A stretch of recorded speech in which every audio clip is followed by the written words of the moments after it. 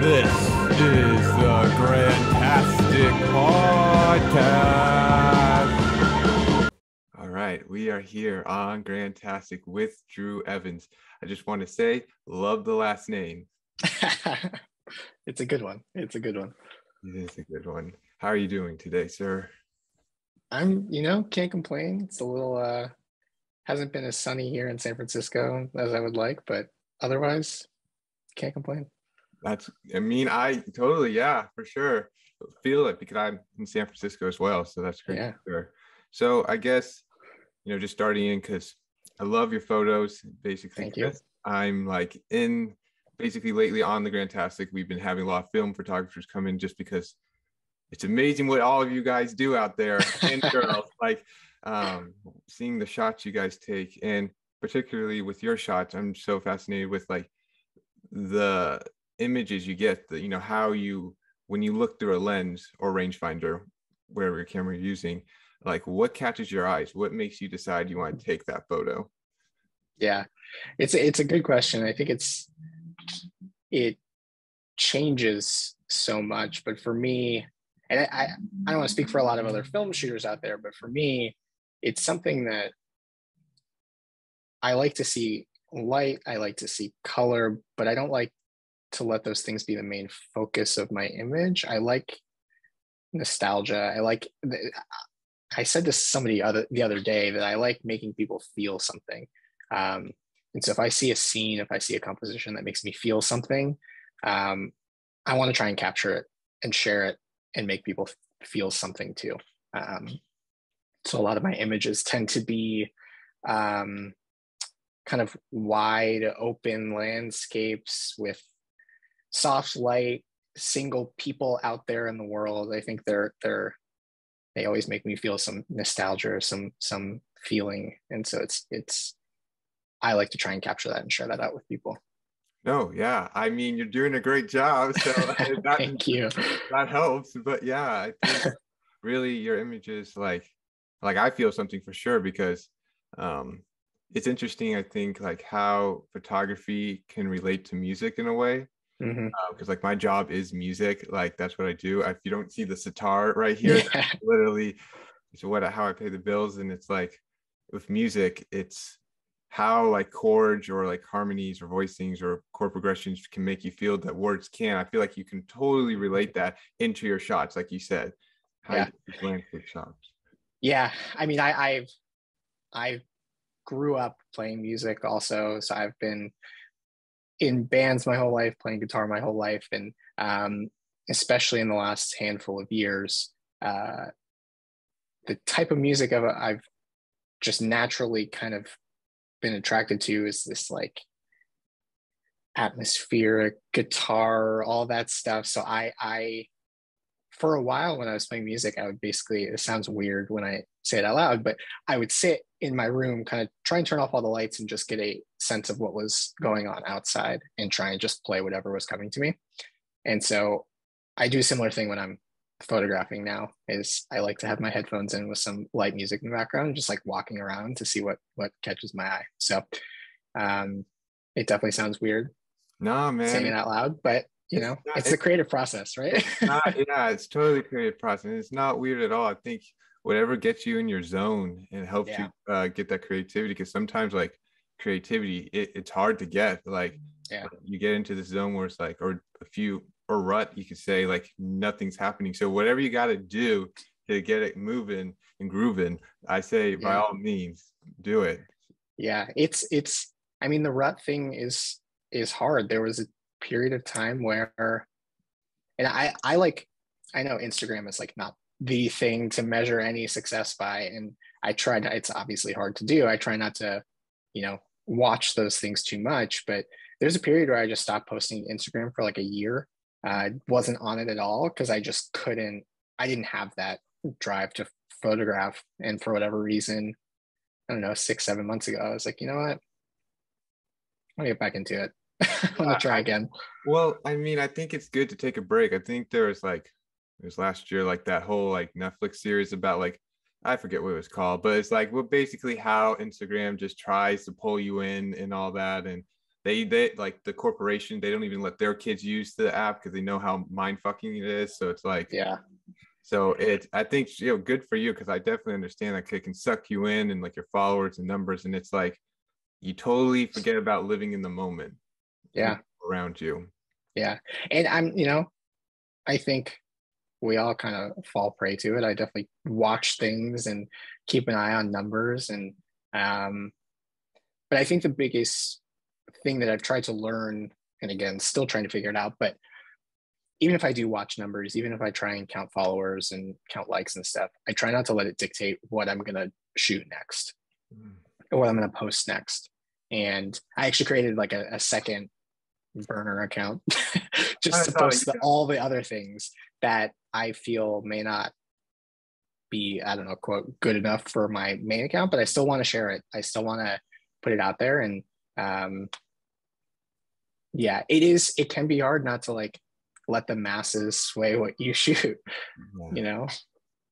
Definitely. So I guess, so I love how we started this, but I guess going back a little, just to, yeah. So, um, because I'm so intrigued now about the music. I know this is about film. like this podcast can literally go in different directions. Just like stepping a few uh, steps back. So you are you born and raised in San Francisco? No, I was. I've kind of lived everywhere. I was born in Chicago. Lived, grew up mainly in Philadelphia. Okay. Uh, lived in LA, lived in Seattle, lived in Austin, Texas. Um, but I've been in San Francisco for seven or eight years. Um, so I guess by Bay Area standards, kind of a native at this point, you know? Yeah, definitely. So, yeah. Okay. And like the music was like, so was that the primary goal when you first like you wanted to be a musician and then somehow you got into photography or? I grew up i'm one of the i'm i'm another one of those kids who's like my parents made me take piano lessons like yep. I hated it and then came back to music years later started playing guitar when i was in high school and i think i don't think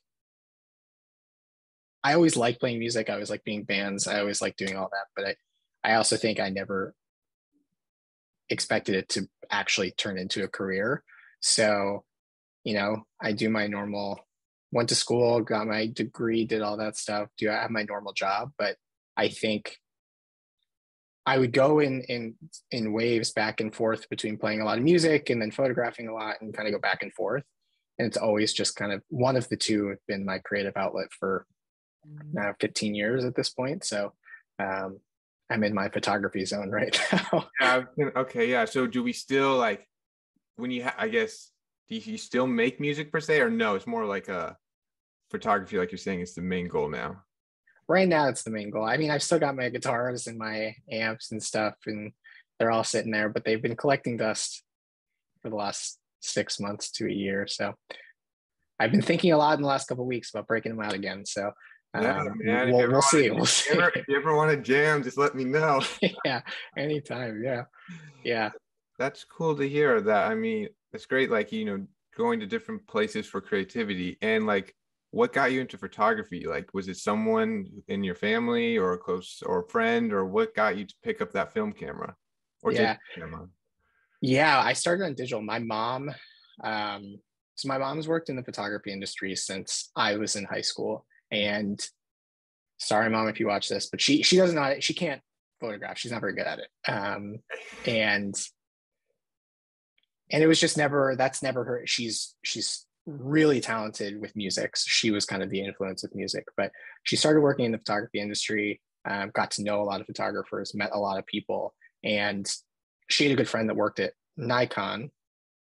And a long time ago they had their like entry level digital like dslr and so she got me that for for my birthday one year when i was 16 and i of course as a lot of entry level digital photographers do, I like set my lens to sit at, you know, at f 1.8. Okay. Never took it off of that. Thought that that was like I was incredible because I knew how to get the background blurry, right?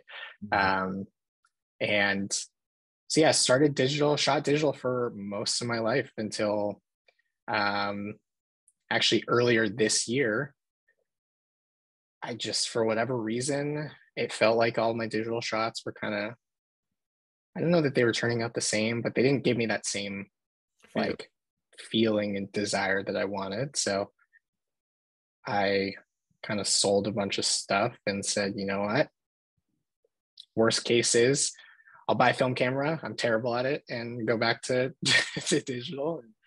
Um, yeah, I've kind of stuck with it. It's unfortunate because I got here at the wrong time in terms of cost and pricing, but it's uh, man. it's been fun otherwise. it's expensive. I don't know how, like, just like, cause I get it. Like, I didn't know how much it cost too, cause my grandfather has a Leica, Hmm. and like, I was like, oh, how much can you get? And I was like, wow, it, you could sell it for this fucking much? Are you fucking kidding me?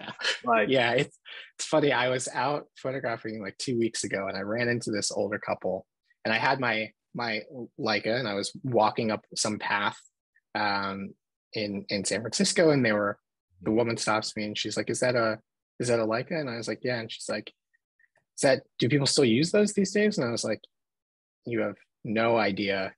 And she was like, "My you know my dad has a big collection. He's got like four or five Leicas," and I was like can we I- if if you're looking for someone to to donate them to it's I've definitely got, sounds like she's just like, they're just sitting there. It's like, if she doesn't want it. yeah and she was like well can you turn them into digital and i was like don't no but also don't do that yeah. they're five times more valuable right now if they're film Oh, yeah. so i don't know if i don't know if there's a handful of Leicas that just entered the market from some random woman in san francisco but um yeah i i i wish my i wish we had old cameras back in my family but we don't unfortunately we don't have any sitting around Yeah, I mean, like it was just a weird thing. My grandfather was into fucking like a he. I mean, he was born and raised in Germany, so like that- Yeah. that's what he did for a living. I guess. I mean, he was a doctor, but also shot photography on his like on the side, and I guess he was really into it. And, and it's like, yeah, just was sitting here. So that's so cool so that, have you do, do you have have you been able to find any of his old like negatives and stuff has he shown you any old work So so I found the scrapbook of all the photos. Mm.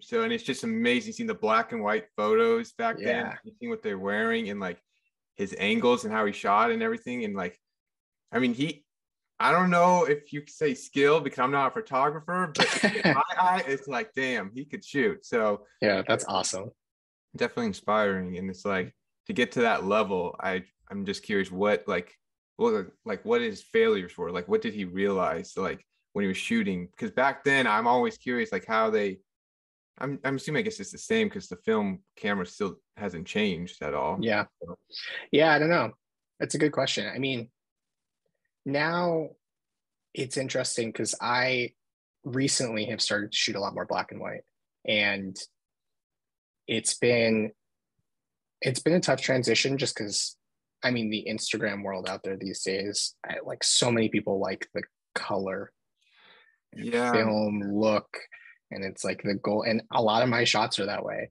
and i black and white like shooting black and white obviously there's no color but it it, it changes the way you Thing. view things and i'm it's i mean I think it makes somebody who only shoots color. Yeah i mean if somebody who only shoots color it's really hard.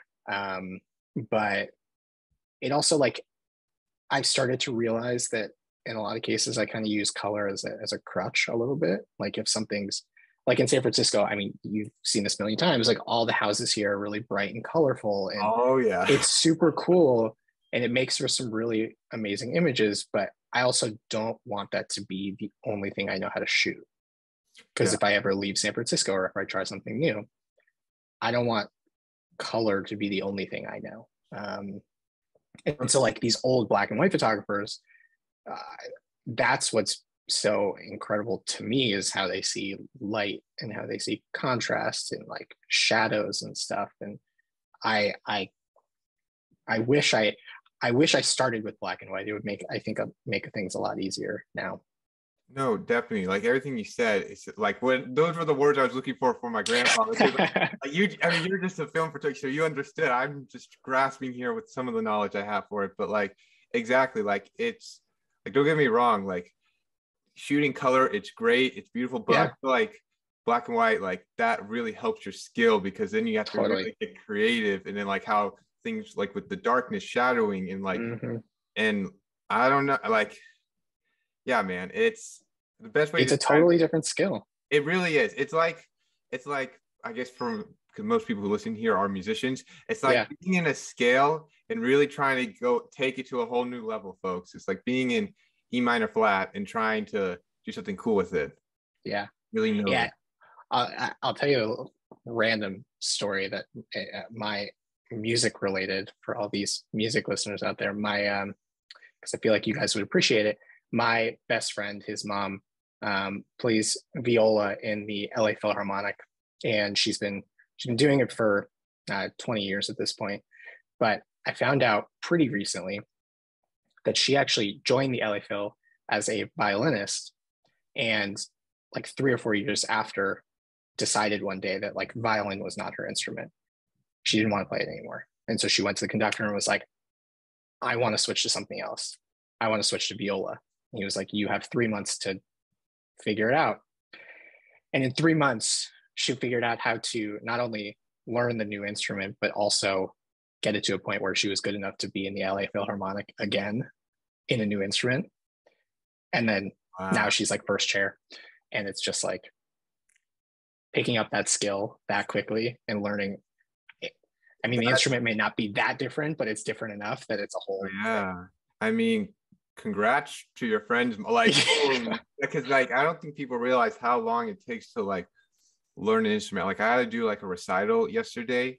yeah and so it was like bossa nova and um you know the classical guitar it's kind of my thing but Yeah. more more pianos or more like sitar so i really wasn't like fully confident so but like you know you gotta fake it till you make it. So like, you know, absolutely. uh, with the audience out there really gotta like try to hit these like you know ninths and sevenths and 13th Yeah. chords and really stretching but like yeah it's not like because string instruments like you think it like oh obviously it's going to be the same but no totally not even a little bit how you have to tilt it how the tension the playing it's Yeah. it's incredible. It's crazy. Yeah she told me that story and i was i was blown away and i was like man i thought that the shift from shooting digital to film was hard. Can't even imagine. Bro I like i don't know like because the whole like cause i got into film like i'm not gonna i'm not gonna not gonna like promote my film out here. So then please do. like not gonna be that guy because i'm definitely not at that level. Definitely i'm interested in it. Actually i had a, a person that i think you no you definitely follow. Uh, hi- jaime uh he goes like yeah Como- yeah yeah. Yeah so he came on here. He was the first one and yeah like no way yeah I was just talking to him recently. He does all these he, he does all these things on Instagram where he posts things and tries to make people guess the film. yeah And I, he messages me a lot telling me about how bad people's guesses are. oh that's how we first met like not because my bad guess because he's like wow i'm proud of you you're the only one who got the guess and i was like yeah. "Okay." and then like thanks man so then so he was the first film photographer who came on here and then you know we started talking about film and just like everything and then he kind of like because i started like you know AE-1 found it that was like my grandfather had all these cameras that was the one that was the most functional took Yeah. it that's what i learned on and he's like yeah man you really got to get into it and like he just got a uh hazel is it hazel uh Hasselblad. yeah he got that Yeah. really excited about and he's like and i told him like the dream was like yeah i like it would be cool if i could fix my grandfather's one or something That'd be so cool. um, but then he's uh with the story going on, he's like, Yeah, I try to figure out. So basically the story is he has helped me so much in film photography. He Yeah. has been the guy who tells me like that photo is shitty. No, you need to do it this way. Come on, guy. This is understand the lighting here. So he's yeah. you know, But you know what? You need you need someone like that. First of all, his work is so cool. He shoots he shoots a lot at like I mean you've seen, but like dusk and like evening, and I'm that's something I don't know how to do because shooting, especially film at that time of light, like if you don't have the right amount of light, you really got to figure it out. You got to work on it. Um, so he's fantastic at that. But um, yeah, you need someone to like break you down a little bit. oh you know? no, yeah. You want someone it's to be constructive, right? Exactly like again music you want like a Yeah. mentor or something who could tell you like you say like that is off or that's not you're not playing it right because you don't want to have those people like I don't know if it's the right word, fake people, but like they're always like, yeah, this is great or sounds Totally. great. It's like you don't need that fakeness. You want someone, you know, can like give you good criticism, but that like it's like tough love, basically. Yeah. And that's what he's doing. Yeah. And it's funny because I feel like some of the stuff on Instagram, like when I post something and it gets, you know, a certain number of likes and post something else, it gets like half or a quarter of that of like an average post. I try to look at it as as I try to take a step back and look at the image as to like, okay, what not saying that everybody here is the perfect critic, but what didn't work about this image? Is it something that you know I thought was great? Was I trying too much with color? Was it just not a composition that worked? Um, and while you know I still like some of those images, and I'll I'll still keep them. Um, I try to use that as like a barometer a little bit, but it's um, I mean, again, Instagram is a whole other Well, it's it's conversation. no, I mean, like, yeah, I'm this is I'm so fascinated by it because like how like because I I kind of like asked Jaime about it, but we haven't gone really deep into it. It'd be great to have both of you next time on it. Like, yeah, I would love to. that'd be great just to talk to you guys and be a group one um but it's just like i think all you guys' photos are great but do you guys focus and i fully i think i know the answer to this is to what you think is a good photo or to what the instagram viewer wants because it's hard Yeah. like i'm i'm just shooting because i enjoy it that's why Yeah. I'm doing. I mean, that's that's the ideal, right? Like the ideal is you shoot because you enjoy it and you post things and you don't really care what the outcome is. I think I think there's always a little bit of back and forth, at least for me.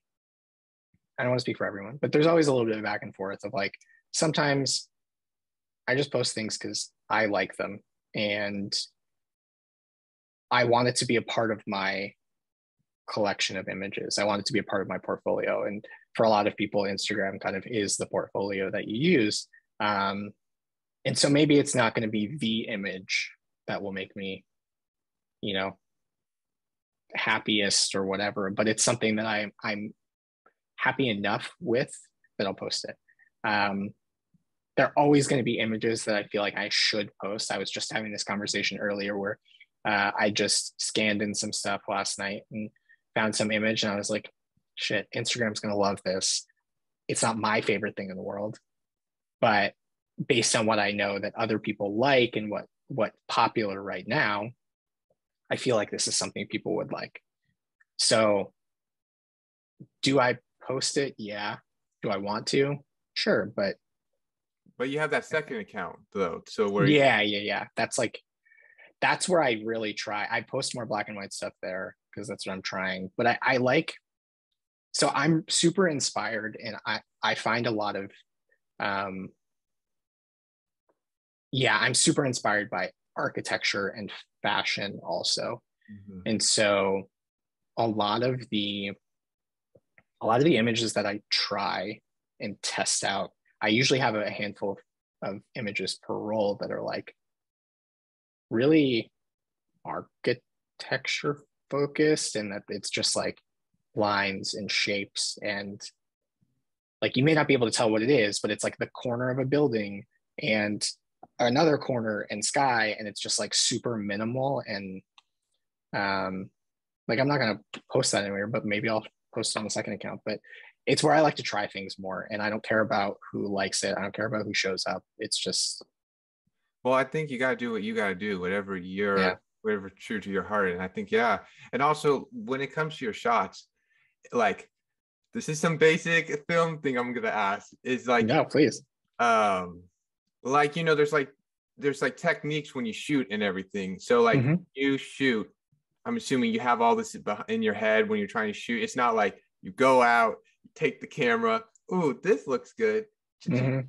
Like, Yeah. I mean that's not. it. yeah there are definitely techniques and and actually it was one of the harder things moving from film to did or from digital to film Yeah. was that digital just allows you so much more flexibility in terms of what you can and can't shoot. You know, if I see some composition and I think it might be interesting, I can take 100 shots and frame them slightly differently and like change the angle slightly and change the lighting and the aperture and all that stuff take a 100 different shots get home put them all into my computer and see what see what works best. And obviously with film i mean you could do that. You would waste a ton of money if you did that but yeah. it's it's a lot different.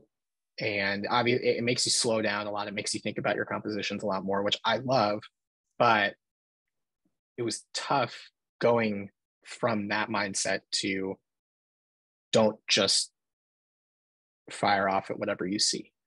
Um, and you know techniques wise that kind of changes how you shoot too because it's you know you think about i mean the rule of thirds is a really common technique and i don't think i mean i follow it sometimes. I don't think it's like the end all be all rule. I know a lot of people when you're learning photography that's like the number one thing they tell you is mm-hmm. follow the rule of thirds.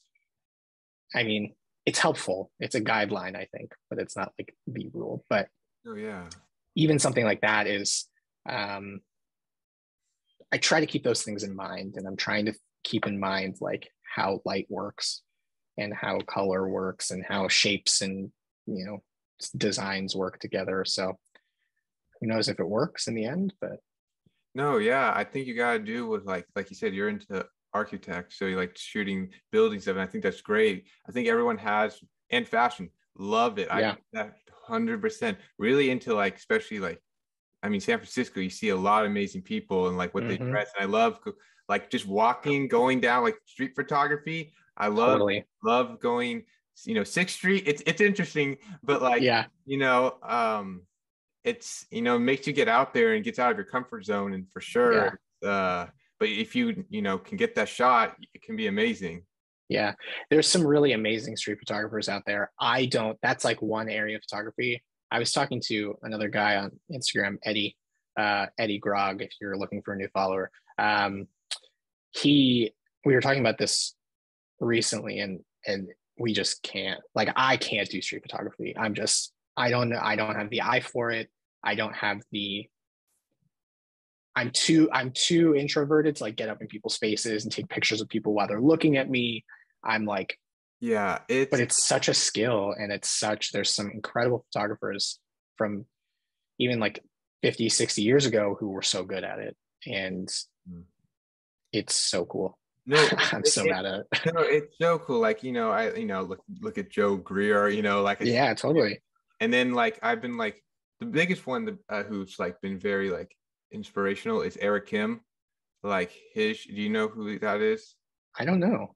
I'm sure that I probably yeah, yeah, he big like photographer. He like literally has like a lot of different Leicas. It seems like, and he just right, talks about how he, he but he talks about how to shoot, and he like has like these full PDFs on like how to shoot, and it's free on his mm. website, and you can learn. Oh, that's awesome. Video and like I try to do one of his techniques. I forget what it's called, but basically you, you know, get your zoom focus ready and like act like you're walking into someone and then you take the photo and then be like, oh yeah. my But yeah, time he was in Japan and like I guess people there was like, oh, it's okay, sorry, you know, keep yeah. Did it on down in Sixth Street, not the way. He tried to fight me. He's like, "You want to come closer?" I was like, "Nope, I'm sorry. I just yeah, never doing that again. Never again." Oh yeah, yeah i think it's zone focusing maybe that's what they call it but like yeah there we go. Yeah it's um that's super common uh, amongst street photographers. I'm there there are a lot of really good uh youtubers out there also who uh there's like a youtube film community right now and a handful of them are actually in the bay area um and they do a lot of street photography and it's so cool to watch them do their thing because i could not even if i tried. Um, and yeah it's it's interesting to like the other technique i i was reading about that that people try is like you know you you pretend to walk into someone you you if you see somebody walking into a scene that you like, you just hold your camera and pretend you're taking a picture of that scene, but really you're waiting for somebody to walk in front of you or like get in the way so you can take a picture of them. Um, I'm still too nervous to try that, but that's another one. yeah, no, I'll try. I mean, like, I don't know. I I think I don't know what the worst could happen. I guess they they get, get mad at you or they ask you to delete it, but really you can't Yeah. keep film because it's on right, there. right. So it's, you just kind of say, "Yep, I'll it's deleted," and It's like, gone. it's yeah. gone. And keep on going. But Yeah. I think yeah, it's definitely like, I mean, at least for me, it has helped like get out of comfort zone just because like at least performing wise, like whatever happens out here, it's gonna happen. It's whatever. They're never gonna see me again, or maybe they will. Who knows? Yeah. Yeah. Um, yeah it's it's i think the comfort zone thing is is has been like that's been something that that i mean i guess photography in general has helped me kind of push out of that but um especially with with film just because i'm used to like i'm one of those people that like i like seeing the results as, as quickly as i can. In film obviously you can't do that. I don't develop on my own. I'm starting to learn how to, but um, with my last couple rolls that I shot, like I didn't drop them off at the lab for probably a week, and then I they were ready, and I didn't pick them up for a couple days, and then I scanned them and didn't edit them for a day, and I'm like, I'm trying to even slow that down, so I'm not so like, I need these back, I need to see the results, I need to like get things to post. You know what I mean? I'm trying to like know exactly what that feels let that like. sit. Just like hard. especially like like when I first started film, uh like that feeling like what does it look like exactly? Yeah. But I think it's I think it's like a, an important discipline to have is to be Totally. Being I mean that can be used for anything in life, you know. Yeah. At least for me, like ADD, like you just like I need to see it, and it's like you need to chill the fuck out and just like Yeah, you need to chill. Yeah. it's not Yeah. going anywhere. It's there. Don't worry. Yeah. Yeah. It was, it was, I scanned and edited a couple photos like two days ago, Mhm. and I purposely didn't look at them again until this morning. Mm. Because I remember when I was editing them, I was like, this is, these are great. Like, I'm really happy with these. And when I came back to them this morning, I was like, were you happy with them or were you just happy to have new images to Mm. look at? Yeah, and I'm like still, you know, still some of them I like, Mhm. but I'm not nearly as happy with some of the other ones. And I think giving myself that extra day was surprisingly helpful, even if it ate me inside and I was trying to see them and I wanted to, you know, share them and do whatever. But it's uh it's better than that that for me at least is better than than than digital just because I couldn't it's all it's too immediate Mhm. um yeah. No, no, a hundred percent. It's like it's like when you think about it, you have a phone or smartphone, and you take all these million pictures, but do you ever really look back at them? No, you might post them and or maybe Yeah. Maybe Apple will do like a year ago, this is where you were at, and it's like, Yeah. oh, but that's I Yeah. never look at my photos. Like the only time I actually Never. look at shots is like I'm building a scrapbook. That's why I started film because after seeing my grandfather's stuff, and I think mm, meaningful. So when I pass or whatever, my, hopefully my kids or whoever will get to look at all the photos of what I did, what Grant did in his life. Yeah think that's cool I, i've i've noticed that there's some photographers out there and and there's some on instagram who do this but there's some who document just like everyday things.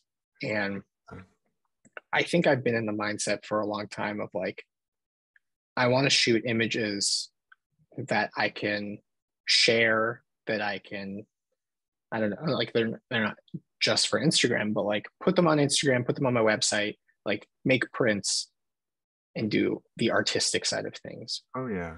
but there is something super valuable and super artistic about like everyday life. And one of my friends took a film camera to on vacation with her and like five of her friends and just shot a bunch of film of like them doing nothing. But even looking at those i was like man i remember i've done stuff like that. Like i remember sitting around doing like that shit is nostalgic just as much as shooting some old volkswagen on the street in san francisco and trying to make that Oh my big God. on Instagram, right? yeah, that yeah, the whole Volkswagen. A lot of people have used the your shot and like or found that Volkswagen and post the same shot. I've seen it too many times, and I was like, it's it's funny that and I obviously wasn't the first person on the planet to shoot that, but I uh, my content I've seen uh, that you saw- yeah, I've seen a handful since I posted it, and um, I actually saw one of the coolest things happen to me last week is that um, a friend of mine actually, and I didn't know this was happening, painted that that Oh, that I- that Yeah, shot. you posted it right. painted, yeah, yeah, yeah. Yeah, Somebody painted that.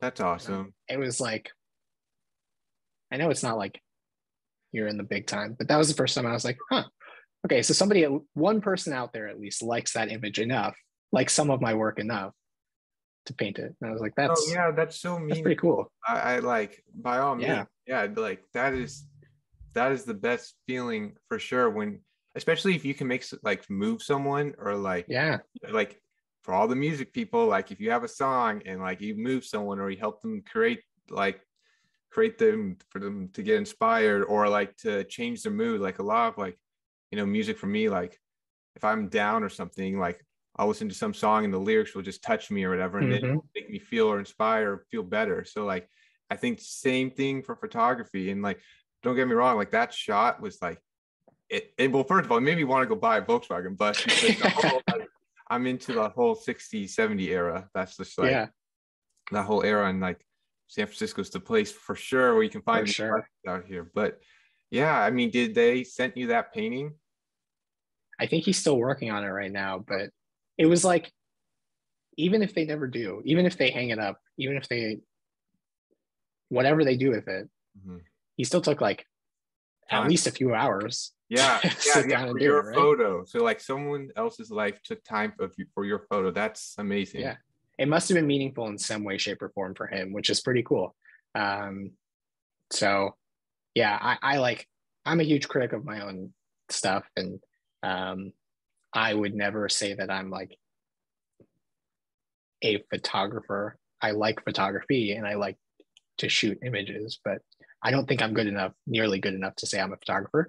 But it was still a super cool experience to to have somebody else do that. So For sure. And I think you make a you you um hit a good point about like what makes a photographer not a photographer and talking to other like you know I mean's one of them but there's other people for sure and like they talk about like numbers shouldn't make someone a photographer and Mhm. stuff and like it's interesting you saying you don't feel like you're a photographer because like I think you're a photographer and like and that, that that's not just because of your numbers on Instagram by any means it's Mhm. because I see the photos how you shoot, but also your second account that I have looked there. It's just like Mhm. how you get some of your angles.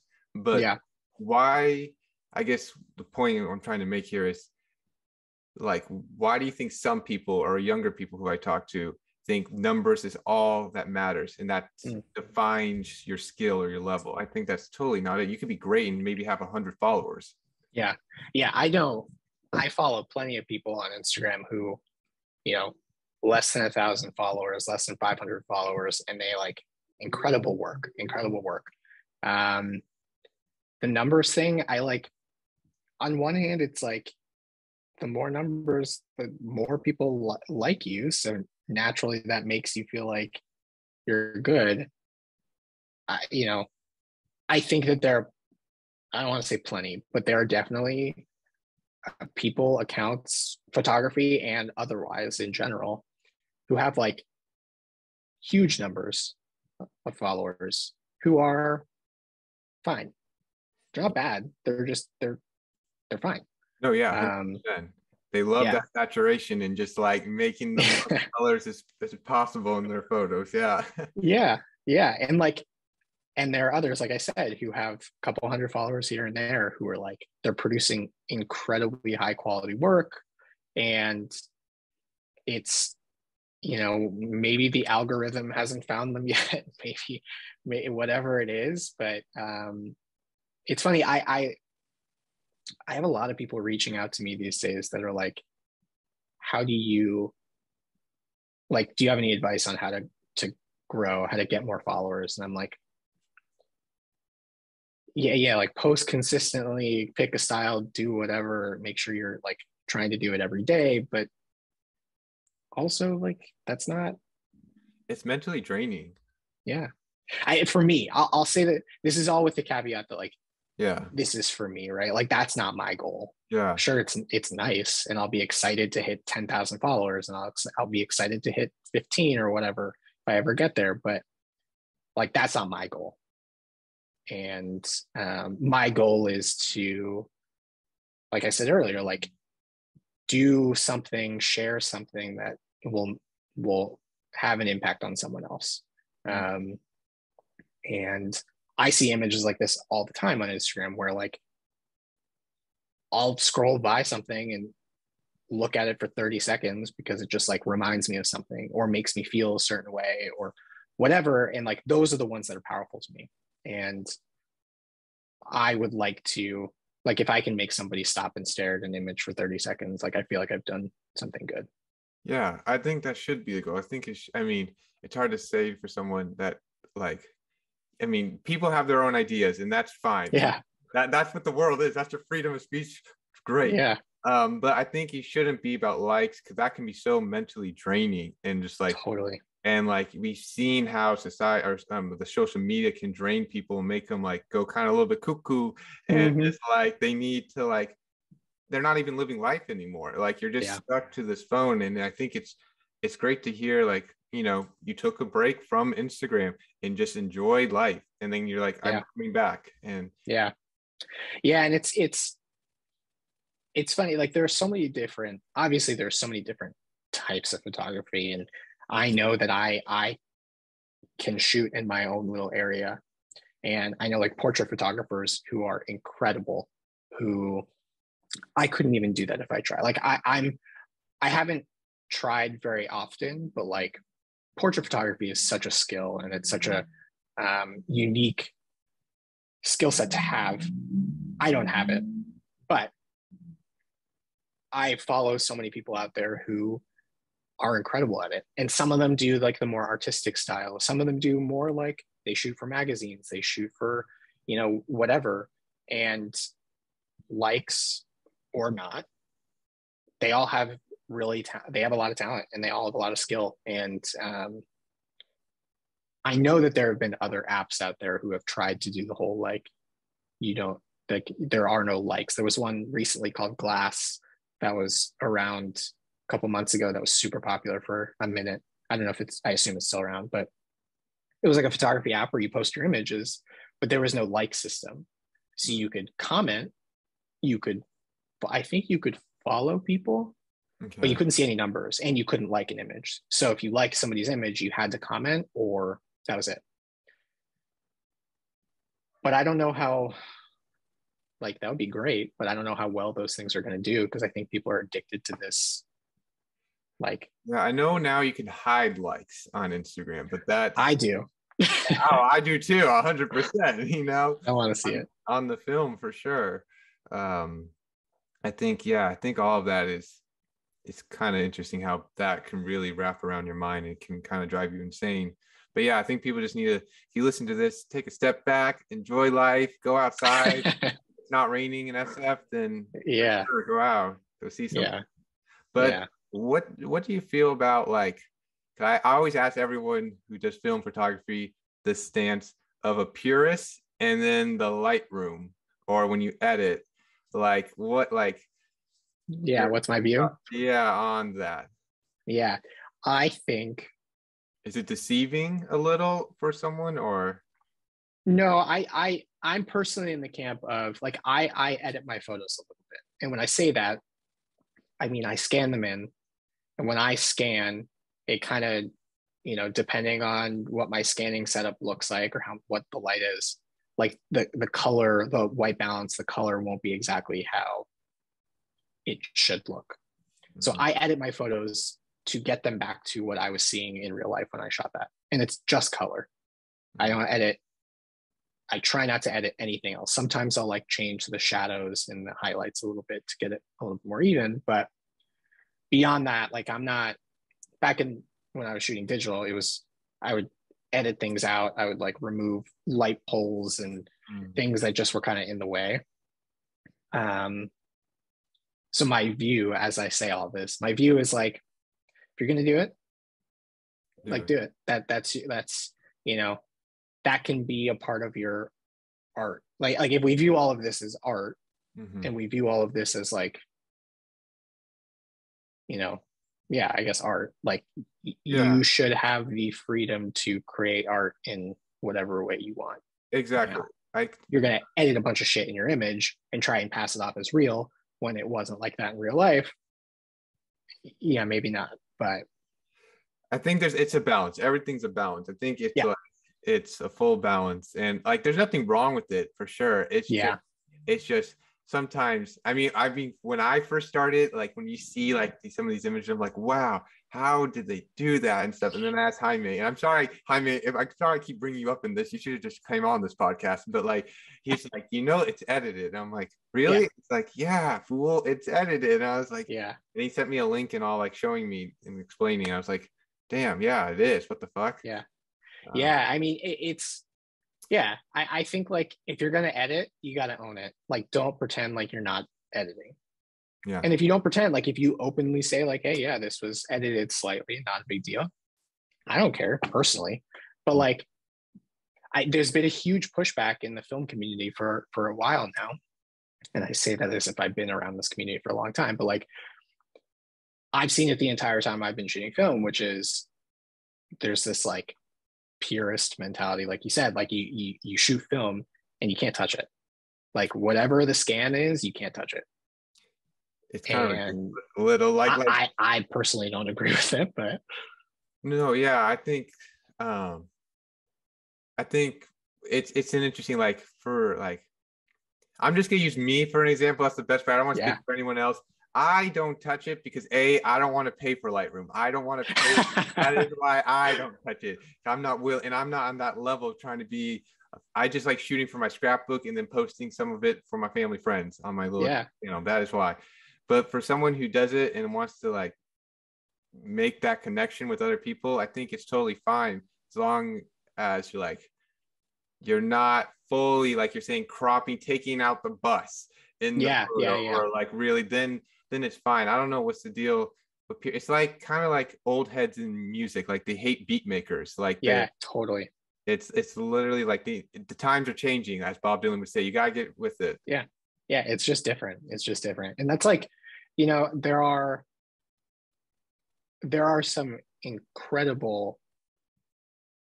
um artists out there i don't really know what you call them but like they create art from images and edit them a lot and create 3d manipulations and do all this incredible work and it turns out to be something amazing mm-hmm.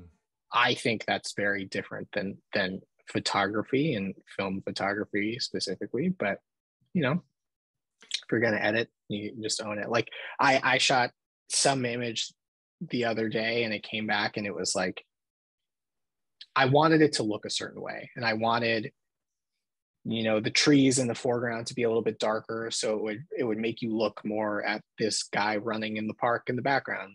And mm. it just didn't quite turn out that way. And so i tried to i tried for like 20 minutes to edit the photo a little bit here and there to make it come out that way like edit the front to make it a bit darker and- and the more and more i edited the worse and worse it got and like films obviously it's not the same as editing a digital image but like it just got worse and then it looked too fake and the colors didn't work and i was like this just It is what it is. i reset the whole thing and i was like you know what this is better than like i'd rather have it look not perfect yeah. and be like uh, like real than Yeah. something else I think imperfection is a is actually beautiful in its own way. You know, when it's not Yeah. perfect, it it's normal. It's like in music, like quantizing. Like it's better to be Yeah. off. You know, it's better to have groove and be off. Yeah. than being right on it because, as for ears or for eyes, maybe like it's better to look a little like not perfect. yeah quantizing is a really good analogy for all this like that that going going back to that that volkswagen van shot that we were talking about earlier i remember when i posted that there's a big light pole in it Mhm. And when I originally was looking at it, I was like, how can I take this out? Because I want it to feel like 70s, the color palette, like I want it to feel like classic San Francisco. And the light pole just feels like it's in the way and doesn't fit the vibe.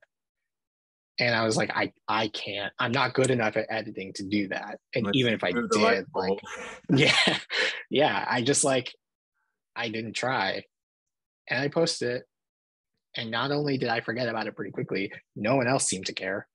And that was just kind of like the reminder that i needed personally to be like you know what?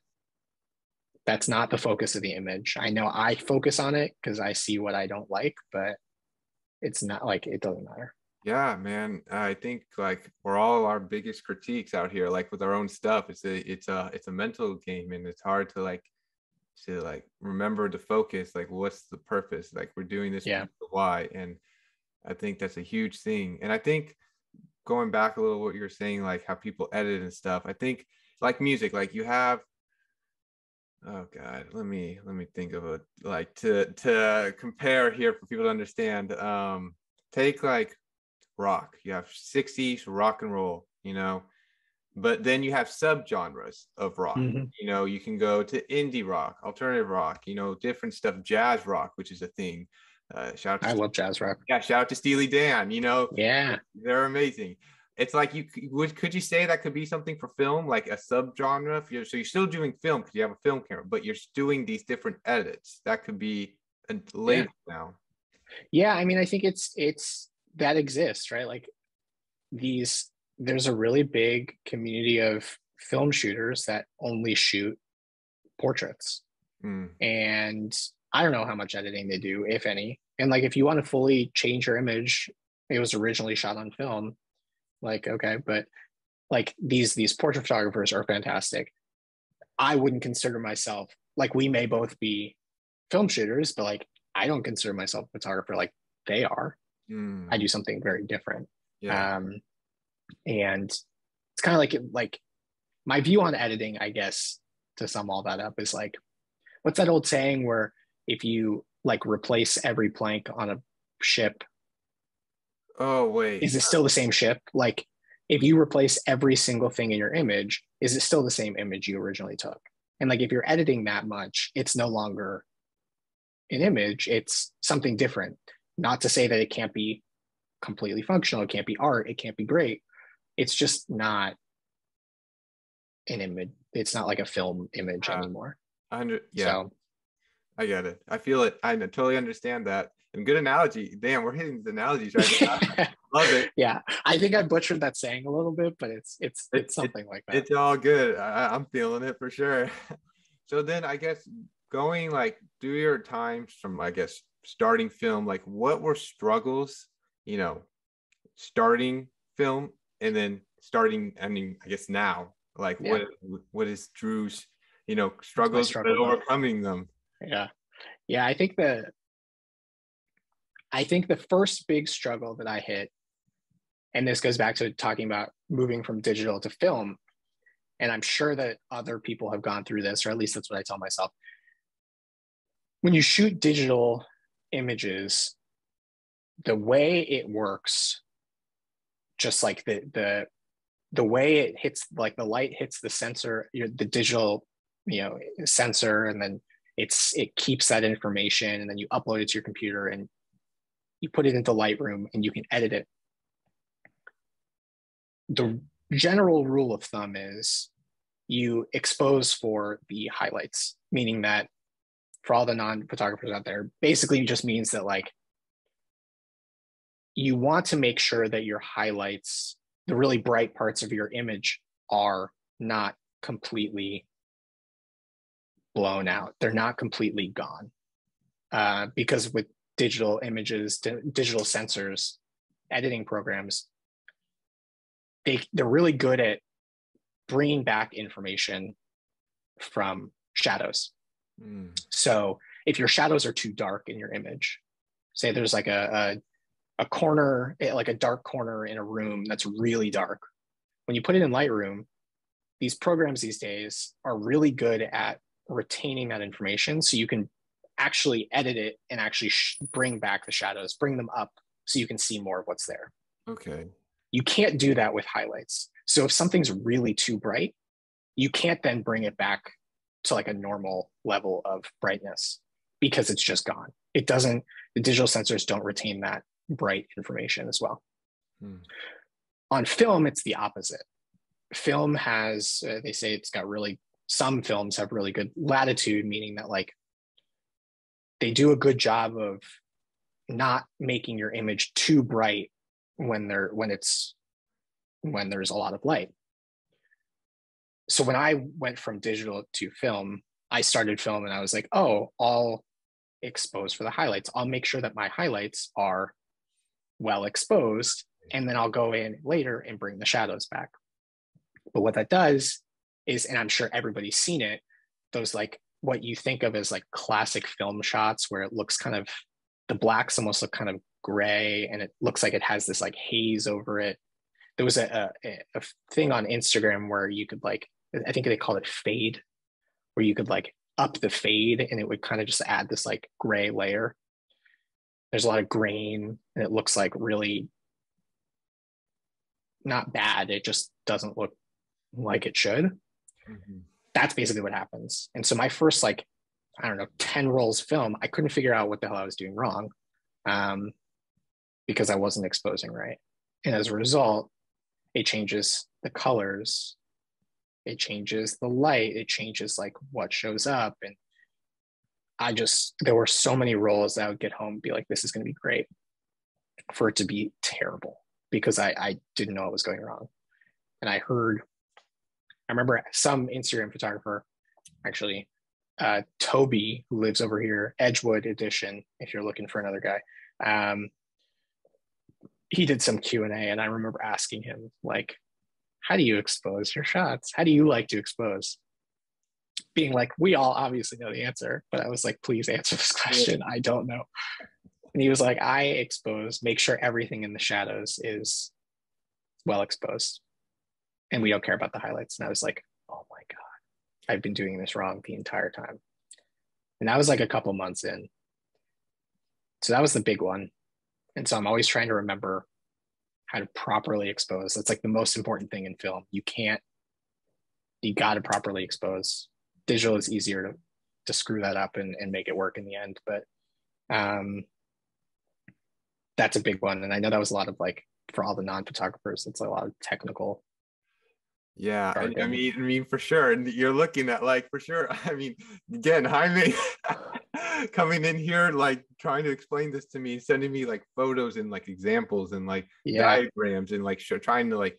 I think the biggest thing was like just understanding aperture, shutter speed, and just like Yeah. and like the goddamn fucking light meter and all this shit. And like, I, I remember learning all of the aperture shutter speed stuff was like when I was trying to learn triads when back in the music days. I was like, okay, so what notes go with what?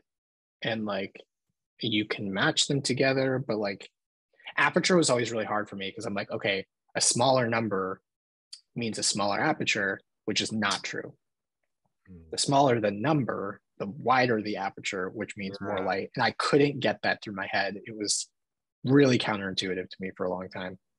No, yeah. I mean, I was like, I was trying to, cause I at the time, uh, uh, I was basically, I was trying to understand like, you know, the shutter speed and everything. And then I was looking at Sunny 16 and I wasn't, Yeah. and I was trying to understand that. And then like, I just remember, but then I didn't take into like the idea of like, well, if my, is my object even moving fast or whatever? So I wouldn't just go, so I was trying to get this guy who was like on a bike and I didn't have it on a thousand. I was like, I think it was on uh 160th or one uh, yeah.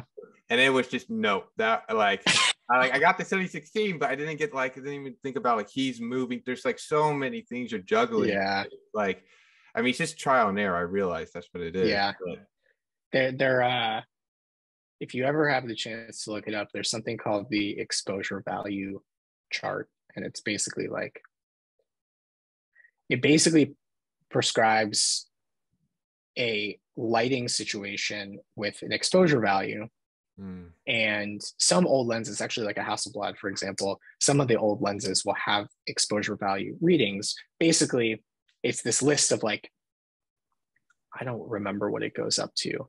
I want to say like 15, like zero to 15 or zero to 16 or something, but each number corresponds to a different lighting scenario. This is something like an exposure value of like eight is like a pretty dark room that's not well lit.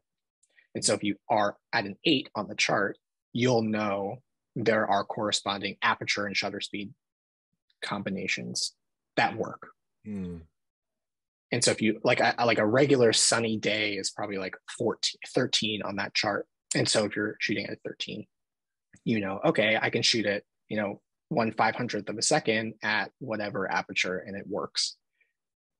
There are a lot of numbers and a lot of situations on this chart, and I couldn't, even if I tried, would never remember them. But mm-hmm. that's how a lot of old photographers used to shoot. And Hasselblad, like enough so that Hasselblad made lenses with an exposure value chart built in. That's not. And those are the cameras like that. That those are the cameras and lenses that went to the moon. Like that. That original Hasselblad was the uh, was the camera that they took for the moon landing. That's a great fun fact I just learned today. Fuck yeah. Yeah, yeah. I think they they That's awesome. yeah I they and you can still buy. I mean, you said Jaime bought one, but like you can Yeah, still buy those he's from- old Hasselblads, and they're not like. Well, I mean, they're expensive because everything in the film world right now is expensive, but Man. you can buy those old Hasselblads. And I had one for a short period of time that like didn't wind up working out. It wasn't right, the right camera for me, but it was like a 1957 Hasselblad that was like the original model and everything was like flawless. It worked perfectly. It did everything you needed to do. And it's crazy that it's like almost a 70 year old camera. Yeah, I, it, really is crazy, and it's but it, like if you find them in great conditions, I mean, it's amazing. Like, cause oh, I know what it was, cause when we're talking about like when Jaime got that camera, me and I, I was telling Jaime I wanted like an M6. Like I was like, Yeah, yeah. that's my So so when we both when he got his, I he like there was I was in so I'm from Sacramento, okay. and like there's this photo shop they have used cameras, and they had the M6 Okay. and it was not in working conditions, but it was like a good deal. And then, and also I had my rent coming up. So what I did is I, uh, we, we bought it and we, we, and rent is, that was just the worst. Cause me and Jaime both bought it. Cause on original podcast, we were both like, we're like, we don't need these cameras. We're happy with what we got. And then he found it at a thrift store or thrift market or something. And he Yeah. the camera and then I found it at mine, whatever. And I got a repair. I took it to somewhere in uh actually no, I, I took it down to Huntington Beach and some people down Okay. there fixed it for me. And um yeah, now it works. But like it's I guess the main point of the story is that like it's the sharpness or these cameras when you find them in good condition, it's crazy how they can shoot hmm versus like other cameras. Like that's what I'm realizing because you talked about grainy and like how Yeah. like, shots. Like I was obsessed with that. Now, no, fuck that. I am like for the sharpness. I am trying to get like zero Yeah. grain and Yeah. uh, That's how I am too. Yeah, I I uh and it's funny because they're they're you know the the big craze right now is these like point and shoots, these like tiny little cameras that you can take everywhere and that they you don't do anything. You just like turn it on, you take some shots and like it does it all for you. And I've got one. the AE-1 got- program like that. Like that. I mean, that's not the point of the point and shoot for this camera, but like just put it on program and then Yeah, you put it on program. Yeah. And like these point and shoots are these tiny, I mean, they all are they basically just run on program. and and some of them you can set them to like aperture priority but like i have a Contax t2 which is like the the incredibly for whatever reason it's now incredibly expensive and it's like definitely not worth it but um you just like turn it on yeah it's because like the celebrity like kendall jenner had one Yeah, some fucking yeah i'm like jimmy fallon or some shit but people were killing it for us. yeah and it like that like doubled the price overnight but um yeah, you like turn it on. That camera, you can set it to like uh, it's basically a program mode where it just like chooses everything for you mm-hmm. based on what you, you aim your camera at. But it's crazy to me, and I, obviously I have one, so I know how dumb it is. But those cameras aren't repaired anymore. Like You can't get them fixed. you can't get them fixed because they're all electronic and because they're so expensive these days and they're not made anymore repair shops don't keep parts for those things No. and they don't like if you're the, the constant joke is like we all know they're just going to become really expensive paperweights at some point because when it fails it fails Hmm. the nice thing about a leica m6 is that if that, that German engineering, fails- man. Like, uh, but like if it fails, I mean, there's only one thing that can really fail, which is the light meter. yeah, And I, if the light meter fails, you, you can still use the camera. You don't need the light meter. well, I- Everything else in that camera is mechanical, so you can get it fixed. no, exactly. But the light meter for me is my savior. Like, Oh when, yeah, no, I like I, when I, see those two, when I see the two arrows, that's when I know. So like Yeah. that's my savior because I'm not like.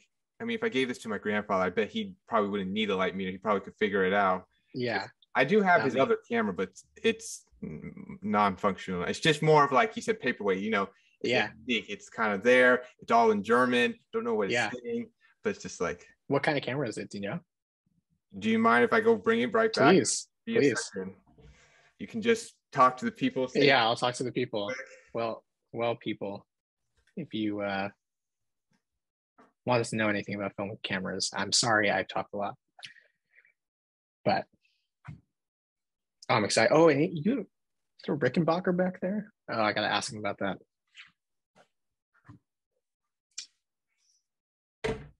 I hope it's been good.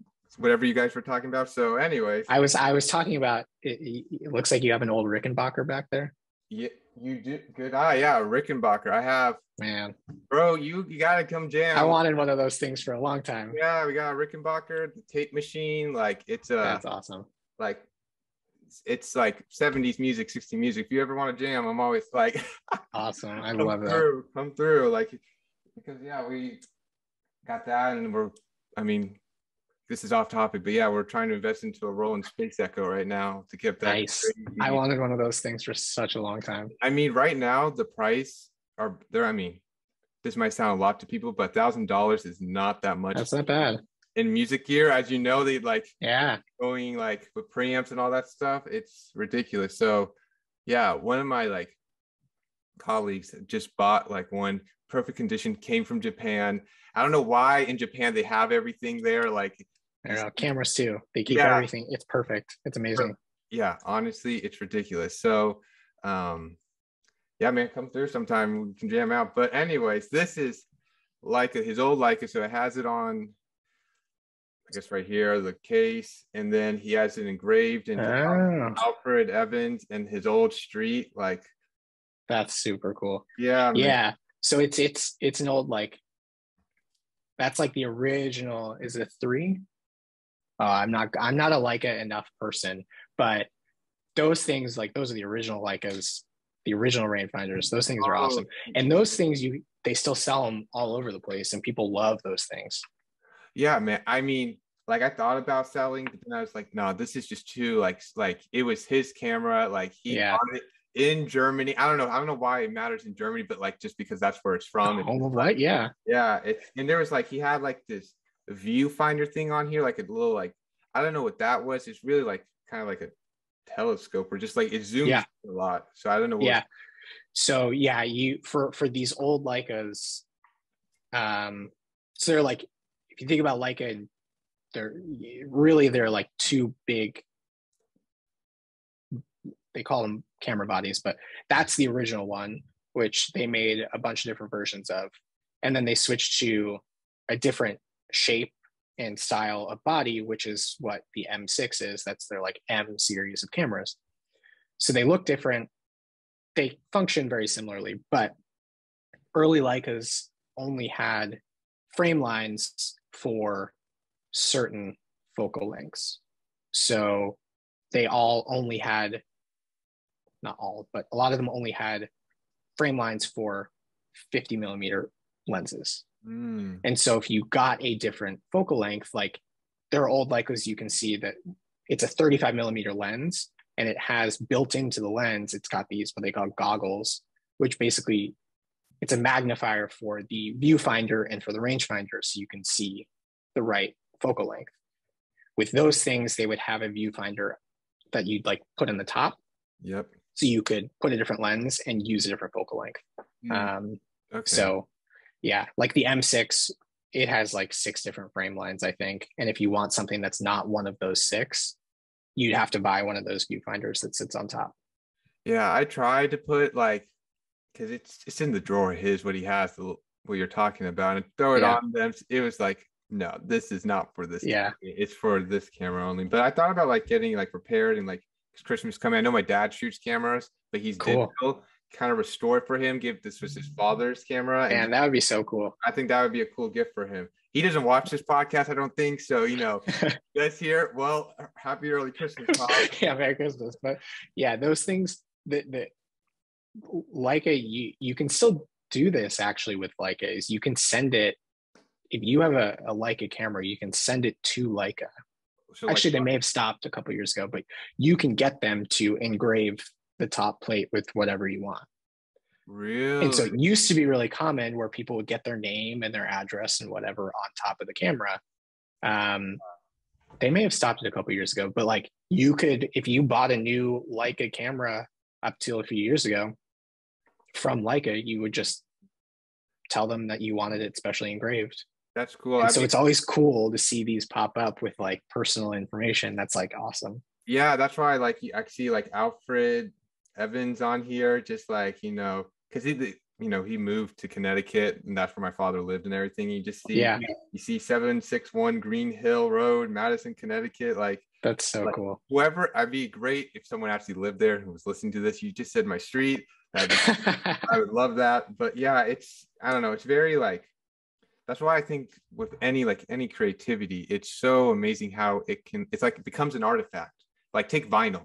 Vinyl's an artifact. Mhm. It's amazing how like you have this thing in your hands and then you open it and you see the amazing pictures and you're reading the lyrics and it's like yeah. it's it's something so beautiful. It's same with film. Like you find a scrapbook of like your relatives and you see all the photos that they're taking back then and Yeah. uh my like grandfather like he was way better handwriting than i had uh, in my scrapbook. Like he would write down the date and specifically explain what was happening. Of course it's in german so i don't know what it was fully saying but like i remember i was just asking my dad and he was saying it says like right here like him and his buddy went to go uh, see a movie and got like coke like coca-cola for like a dollar or something and i was like wow that's not like what it is now. Like Yeah. I um, would never think to write that shit down, but oh yeah I I've got my binder of negatives and I'm it's like I don't know. It makes me feel a little cool to have like all these negatives sitting around and you like ever make a book though like you see some people do like because i mean i would i would buy one of yours I- it's funny. I've thought a lot about that in the last couple months of like would I do it? Absolutely. I think for me, I need a like I would want it to be a specific project. Like I don't want to just publish a book of my favorite shots because they don't work together. And like some of my favorite photo books of all time are these like projects that people have done, these old photographers in the 50s, 60s, 70s, whatever. And they it's like a project where you're photographing a small town like famous youtuber and photographer like i guess instagrammer also matt day you okay, know, yeah. if you've never seen if you've never seen his youtube channel go check him out um, Mhm. he put a book together um, about his hometown he lives in some small town in ohio and it was basically just like a bunch of photographs over the course of i don't know how long and showcasing how it's changed how the town has changed over the years that's really and they may not like when you look at it if you posted one of those shots to instagram you'd be like okay whatever but when they're all together it's it's it's meaningful and you can see how they all work together and you're getting like more than just a picture of a shop, like an abandoned shopping cart on the side of the road. story. You get, yeah, you get a story. You get It's like an Like- album. exactly, exactly. And so I don't think, I don't know what a project like that would look like for me. I, I, and I want it to kind of come naturally. Mhm. Um, Yeah. And I, I wish I, I have had figured that out by now, and I would love to do it, but and I think that's I gotta wait. I think I think it like I think that's the biggest thing here is that what Grantastic's about it's like it comes when it comes. It, you can't Yeah. force anything. Like that's Yeah. like that's something I truly believe in and I try to preach to anyone who wants to listen or don't listen. Either one. It- it- it's basically about just like you can't force what will happen. I, the universe will will present itself to you when Yeah. the time is right because I don't know what it is in this world, but like things happen for a reason, and some Yep. of it's shitty, some of it's great, but there's a reason behind it, and we it's bigger than us. So I think when the time's right for you to uh, drop a book, it will happen, and I think you that's just a thing, and maybe it's black and white. Who knows? Your first yeah, book, yeah. Honestly, that would that's a good point. that would be cool. Like you waited, and like maybe that's what happens. Like you hear hear me out with my weird story. You, you meet this amazing black and white photographer in SF. Like like he's kind of quiet, but like you look him up, and you're like, fuck, this man has amazing photos. And he takes you under his wing, he shows Yeah. you the ways, and then you start you shoot all this in a year, and then boom, you drop it. And it's All right. So what I'm gathering from this is that there's someone out there who's a really amazing black and white photographer who is quiet and lives in San Francisco. Let me know where you're at. Hit me up. I'm around. Take me under your wing. Teach me your ways. yeah, man. I Like, think let me know. Hopefully he looks at YouTube or listens to Spotify.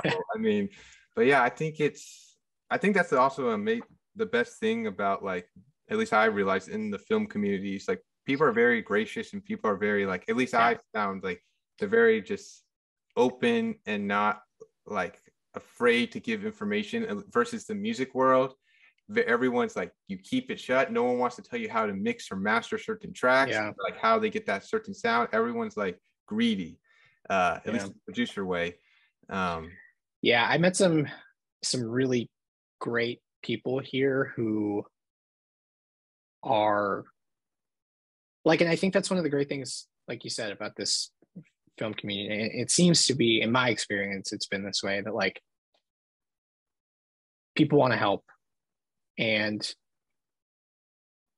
I don't know what it is, what's different about this community because I've been in plenty of music you know, communities in general. Like music was, guitar is always guitar is a tough one. Like there is a like I remember wanting to go buy my first guitar and not even my first, my second or third, and like go to Guitar Center or whatever store and like I sit down to try it out.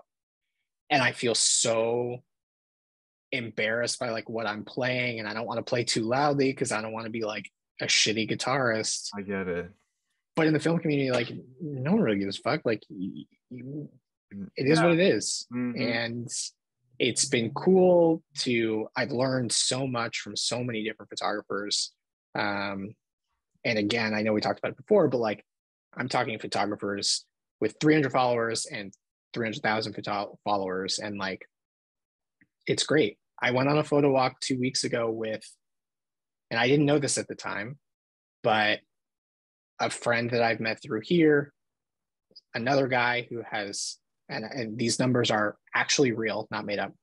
Uh, that guy has like 600 followers. Found that out later. The other guy has 670,000 followers. And they were all completely down to earth, awesome people who, even just in the two hours we were shooting, like taught me a lot. I had so many questions. I knew nothing about these people. Didn't know that one of them was like this huge, big time yeah photographer, like it's his full time job. But we were just like shooting the shit, talking about like different things. And it was great. And I left kind of assuming that we were all just photographers in this community. And that's correct I've talked to them all since, and it's super cool. It's Yeah. super cool. That's that's how it should be for every kind of like artistic kind of thing because i think that definitely the ones that like who I don't know how to word it, but like at least like the musicians who I've known, like they're I guess famous. When I say they're always down to earth, at least yeah. Case, like won't give names, but like they they're doing great now, and like they're thriving on the charts, and like they came to visit because they had a show here uh, a few weeks ago, and like got to hang out because we a friend of a friend, and like they're just like down to earth. They're just playing Super Smash Bros. in my apartment with me. like we're just chilling, and I'm just like, this is great. And like they they, Yeah. talk about the same issues or this, they have the same thoughts, and it's like they're human like us. And why should we Yeah. treat other people like this? And I don't know. Like I think the music industry is just kind of, especially with like, listen, I love jazz. Jazz. Me I- too. That's my thing. you know, Bill Evans is my hero. You're speaking my that's my I've always said Bill Evans is like my guy. And I always have been like, maybe I'm related. I No, know I'm not. Literally, I know I'm not. we But maybe. all all us three Evans guys out here, you know, I like maybe there's a weird origin or something, but um, The dream. but yeah, like like not to get off topic of the film, but for film people who maybe will listen to this, you know, Bill Evans, check him out, amazing pianist, part Amazing. Miles Davis, did you know a lot, was the king of like voicings and harmonies of what those chords. Um, but like there's some people who I met, like they're like fuck every other genre, like jazz is the most purest thing, and like we Yeah, talk about purest totally. like people, and but they're like the old heads, like trying to Yep. full circle here. It's like they they don't they need to uh, appreciate understand other creativity ideas or genres Mhm. like i understand jazz is a hard genre it can be very complex with the time signatures and Mhm. and then we get into samba and all that stuff it's Yeah. ridiculous but like you got to be open-minded and like so far everyone's been super cool in the film community like Yeah. um shout out again. Jaime literally he's gonna laugh when he sees this. Um he was the first like photographer who like followed me and like and still today like i i literally talk to him every day. Like literally like awesome. he's just a great person and he just like always giving me um tips and just like and just actually just knowledge and it's it's like not fake knowledge not like Yeah. how, yeah. how to make a quick beat or how to do this in five seconds Yeah. like no this is how you got to do it and he's like okay go check out this photographer and like we actually buy his book and look at how he shoots like actually Mhm, steps. mhm. and like this is what i'm looking for i want like real people who actually care and like and are willing to just to give some time that's all i'm asking and Yeah, uh, yeah. and maybe in return some music or some food fuck it i'm always down you know but Yeah. yeah, i think that's super great that's great to hear that um you got to meet these people and stuff and yeah. would you say like covid right now um because like did you start you started film photography before covid No, during.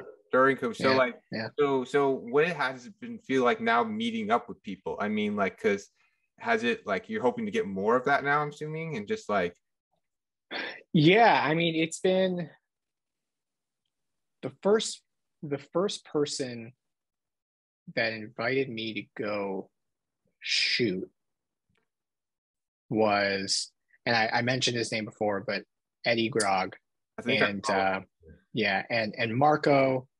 I think his Instagram is sh- is shot by Bush. If you're looking for both of them, Eddie's is Eddie Grog, but um, just like out of the blue, Eddie was like, "Yo, we're gonna be in San Francisco. They're from Sacramento, or he's from Sacramento. oh really like, we're gonna be in San Francisco, and uh, we're gonna go here. Let me know if you want to tag along." And I was like, "Dope. I I don't I don't know these guys. I've never done like." yeah And I was like, "This." I used to buy and sell music equipment all the time on Craigslist. And I was like, "This feels like it could be some shady Craigslist shit where I'm like meeting up with some random dude on Instagram." But like that's just kind of the way of our our world these days. But they were super awesome and it was a lot of fun and met up with them a couple times since and like met up with other people and i think if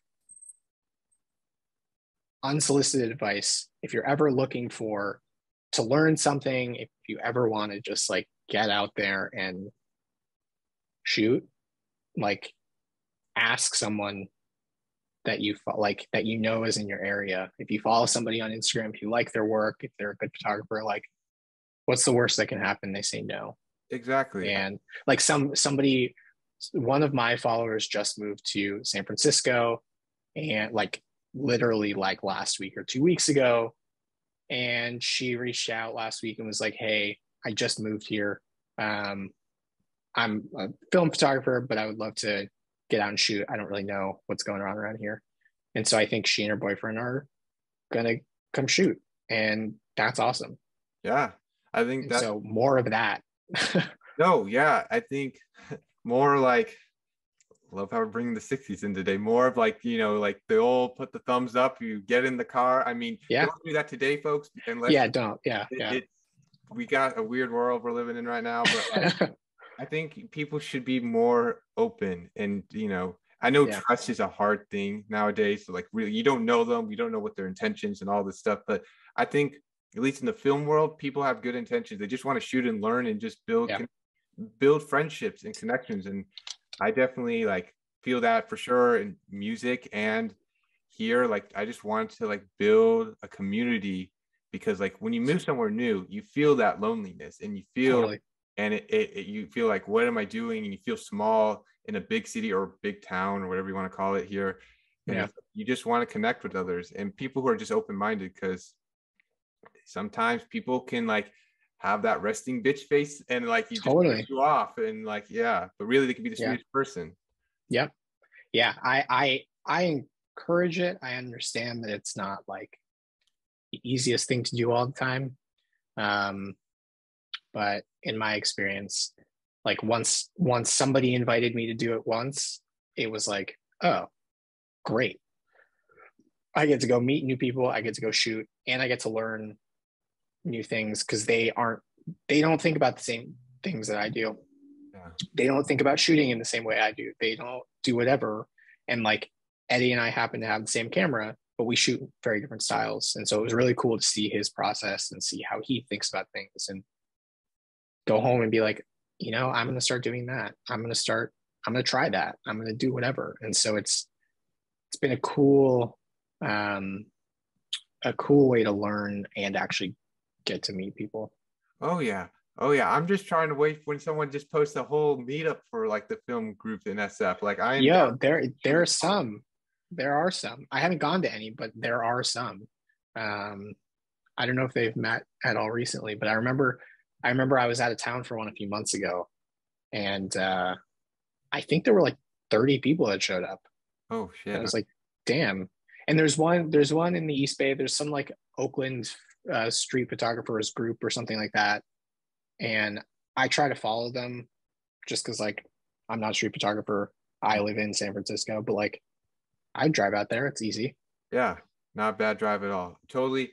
Yeah, I'm seeing that's the beauty of it. Like there's no there's like you said, like they don't care or like they're not gonna judge you, I should say, about like if you're starting out or you're learning or whatever. Like the I think they just appreciate that someone who appreciates what they appreciate is just Yeah. out there with them. And like Yeah. it's always great to get knowledge. Knowledge is something I always say, like it's something so valuable and that I feel like everyone should try to like obtain it. And Yeah. from your own experience, just pass it on to other people. So I think it's Totally. It's funny. There there's you know, within the film community, there are definitely people that are like they're not famous, but like in the film community, they're like kind of a big deal. Mm. And I found uh, like maybe a month ago that there's one guy who's probably in his late 50s who just like he works or he was he was a Kodak ambassador for a really long time and he's been shooting forever. And like he's one of those guys that like is just around and is always willing to help out. Is like met up with a bunch of people and shot film with a bunch of people and like gives people film and like he's just a cool guy in the community who like wants nothing other than to be a part of the community, which is super cool. That is that is great. Honestly, we need more of that in every kind of creative aspect because yeah, first of all, film is so goddamn expensive. It's Love. ridiculous. And like someone I think was showing me that was like Kodak's gonna raise their film or something by Yeah.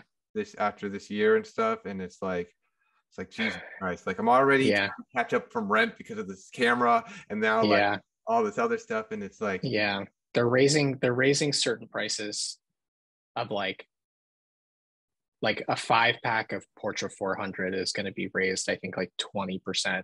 So it's going to be, I think currently it's like sixty-four dollars. 60 something dollars, and now it's going to be like 80 bucks, 75, 80 bucks, which I'm like, I don't, I don't, I don't have time for that.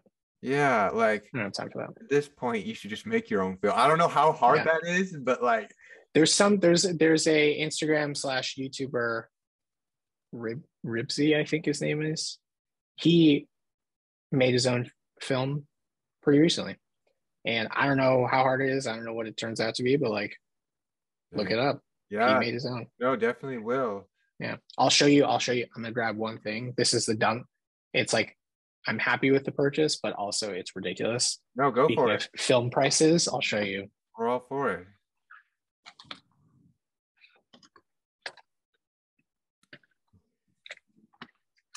So this film, Fuji Yeah, Pro 400H. you, you, you. I remember on your thing, you said they it went extinct. It was hard to find it. Was that you? Yeah. Okay. So they they Fuji discontinued this film at the beginning of this year, I want to say. okay. And this is this was Fuji's equivalent of Portra 400. So it's like the professional grade, uh, really fine grain, really sharp film that like portrait photographers use. Okay. They discontinued it.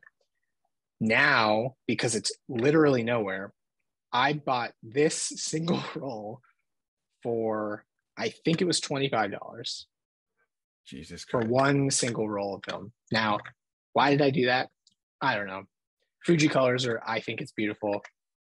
It's a beautiful film, but it's sitting in my fridge and I don't know if I'm ever going to use it because I'm too afraid to spend $25. But the book. The book. the book, maybe that's what it is. It's all Fuji Pro 400H, Yeah. but yeah, you, you can, you can look on eBay and it's like 10 packs of this shit is like 250 bucks, 10 rolls of film for 250 bucks. I'm like, this is, it sucks. Bro, And it sucks that they're discontinuing these things. I mean that, and as well as we live in San Francisco. If you, if I don't know, if gas prices and food and all, it's like and rent, as you already know, like it's yeah, what's another $25 roll of film, you know? yeah, It's already it's crazy how everything's like prices, and and that's the thing. I wonder, like in the next, let's say, thirty years for us, like where will fin- film stand, and where like will prices like will it just be ridiculous at the point where it just no one's gonna buy, or like we start have to make Yeah. our own? It's there there's a shout out to another I keep dropping these names, but go another. Bay Area YouTuber and Instagram guy, Chris Chu. I think his Instagram is who is Chris Chu. He put a really great, and I actually just shouted him out the other day too, but he um he put a really good video together on YouTube about this whole conversation and like what's going to happen to film and like prices are going up. Is it going to die out? Like i think it's i don't know. I, I look at it and i'm like okay you used to be able to buy a roll of film for like i don't know two bucks three bucks way back in the day. So like i'm sure that these prices relative to inflation and stuff aren't that crazy but it's still increasing and like it's not as common yeah. I think my assumption, and I, I've heard this before too, that like Kodak charging so much more money, and they recently put out a new disposable camera. The new it it shoots black and white Tri-X instead of their whatever color. That they're doing all of this and jacking up prices so they can reinvest in their processes and like make things better long term and then hopefully bring back some old um it, like you know extinct film stocks and stuff. I don't know if that's true but my optimistic hope is that they're doing all of this to better it in the long run and that it's not all just for profit and whatever I hope not. I don't know who the president right now is at Kodak. I hope that they get their shit together and i hope there's a reason for all of this because i don't want to drop 80 bucks on portra for no reason I could have bought you your groceries. Yeah, Yeah. and we got we all need to eat to get that thinking going. Yeah. But yeah, I mean, well, like you were talking about, so would you say the best way for people who actually want to do this and like actually like maybe a hobby or maybe not a hobby is to just get it developed and then scan it on your own? And then I guess if you wanted to print it, then you just go back and get it printed. I mean, economically, developing chemicals are not very expensive. Like you can you can buy a starter pack and get all your dev stuff for not that much. Um, Is it hard? and I mean, it's hard in that the first time or two is just scary because you're afraid of screwing up your film and whatever. Um, but I think it seems like it's one of those things that's way scarier than it actually is. And like once you do it twice, Mhm. y- you know how it works, and it's like not a big deal. Um, and right now, for me, the lab that's closest is like I don't know, six or seven bucks for development per roll. Mm. I think if I started doing it on my own, it's like it would be so much cheaper. But for me, I would rather scan on my own. And I like there's some there's some like price point that it makes sense if you're shooting enough and if you're scanning enough. Like scans are 15 bucks for me, and I don't want to spend 15 bucks every roll. Um, so for me, it was just easier to pay up front. I had a digital camera, bought a lens, like made that setup. Um, but if you're not shooting as often, if you're shooting, you know, a couple rolls here and there, it's probably just easier to scan with a lab. Yeah, I mean, I've been trying to find the good price range. You know, we went to Underdogs and then we went to Oscars because Oscars is where I work close by there, and it's like good places. Yeah, everything. Um, yeah, I, I, yeah, it's, and I've had film developed in, in a handful of places, and like, I mean, first of all, shout out to all of the film labs and you know everywhere that are still still making it work because it's awesome. Um, but yeah, I mean, I think it's just it, it's it's about what makes the most sense for you. Like I shoot enough that I would prefer to scan on my own, um, Mhm. and I think the the the money I've saved from scanning at home has more than paid for the camera setup that I have for it. Oh yeah, definitely. So yeah, it, I think it just depends what your situation is and like uh how much you're using the camera and stuff. So yeah, Yeah. But Yeah. then that's like you know you have a Leica, um, inspired me and other people for sure. Well, you and Joe Greer. I mean, those were the two people I saw. Like, I mean, particularly Joe Greer when I saw that thing, and I was like, there you go, that like yeah, But the main point where I'm going with this is is with your camera, would you ever have you have you ever done clients work with it? Or it's just more because when you get into clients work, and that's what I'm doing with the music, your love for it changes a little. it changes. Yeah. Headlines come along, you know? Yeah, yeah. I haven't done any paid work or client work with this camera. I had before when I was shooting digital, Yeah. and you're right. I mean, it's a job at that point, and so it's different. Um, would I do client? Well, I mean, sure. I, if somebody's going to pay me to do this, like, yeah, I'll obviously do it. But I think it would be different. It would be different, and I would be, yeah, yeah, it would be different. It changes your mindset and it Yeah. changes how you shoot, especially because we talked about you do like landscapes and everything. Now people want maybe a port. It would change the whole Yeah. especially I- mean what what um if you don't mind what lens do you use like i'm assuming 28 because if it's landscape or is it I'm I'm you know it's funny I have a, for my Leica I have a 35 and a 50 my 35 is currently with Leica getting some work done and the entire time I'm like I feel like I should just get a 28 instead but anyway yeah. okay yeah yeah. Um well come through. I have the 28 if you ever want to all right. That's all you if you absolutely. Um because it was it was not in the best shape but it's doing good okay now. But yeah, main whatever.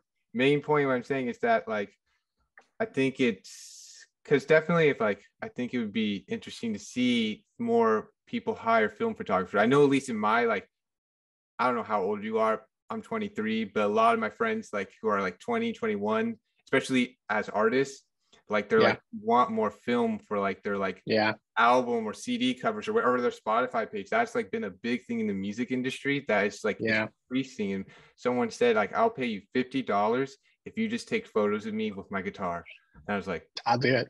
I like fuck okay like i don't think Yeah. you realize i told them film's expensive but i'd never give them a price and they're like well fuck bro i'll give you money if you need it i just want the photos And like, Yeah.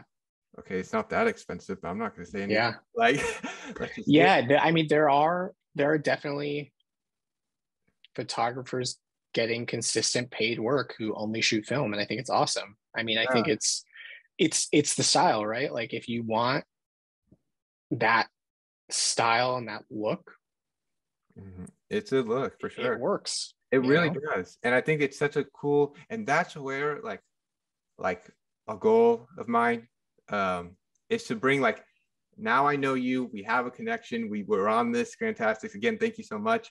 Is Yeah. that now that you know me, I would love to introduce you to like musicians because like I've shown I've shown them your work and they're like, wow. And like bringing this up because some maybe some have asked, would you ever shoot? So like it's like, Absolutely. and you Yeah, make you're looking. and you play guitar. So like Yeah. It's like creative minds like yeah you shoot but you also if you ever want to jam or just have fun Yeah. join because like everyone just wants to connect and that's what i'm Totally. trying to do here and just like Totally. um yeah but i also feel like i don't know how like your worth ec- work ethic is but would you say when something becomes a job does it change your love for it would you say Mm. Uh, I think it depends how you can handle it separate Okay. the two, right? Like for me, my normal shooting style is, you know, landscape, cityscape, whatever. And if I got a paid gig that was like portraits, I think it would be different enough for me that I wouldn't lose my passion for Mm, landscapes.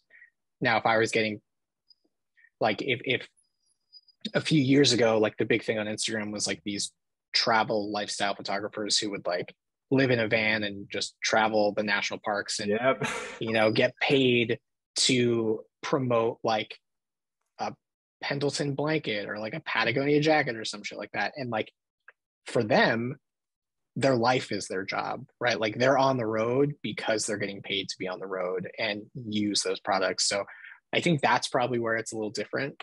But yeah, would you say because i think you mentioned before like because i honestly thought this is your job is film i thought like but love to hear i mean that's just again jaime that's not his job i mean you guys just Yeah. love it but would you ever unless you love your job would you ever want this to become your like everyday people have asked me that before. I, I I don't think so. At least not right now. I don't think so. And I know plenty of professional photographers who like this is their job and it's awesome. Um, I yeah, I think for me it's a little bit too uh volatile in terms of like what work like there's not necessarily a consistent work stream. Like i have a full-time job and i know that i have that full-time job Mhm. and it's consistent and my paychecks are consistent and whatever. And it i like routine a little bit so it's nice to have that. No it's nice to have the safety of like a paycheck for sure. I yeah. I get it like being an audio, engin- audio engineer it's like yeah. who's coming to to get Yeah, same thing, right? like i don't know who's going to be my like unless you're like working for a company and they hand you a project that is definitely i think the best way because you're guaranteed uh yeah i i uh yeah i think that's that's part of the reason. The other thing is kind of what you were saying before i love photography and i don't want to lose that love because it's what i do all the time. And i know a couple people even just through instagram that like they are professional wedding photographers and stuff and they also shoot film and do their normal thing but like that feels like for me at least and just the way i live my life like that's too much. And I don't want that to be the only thing I do.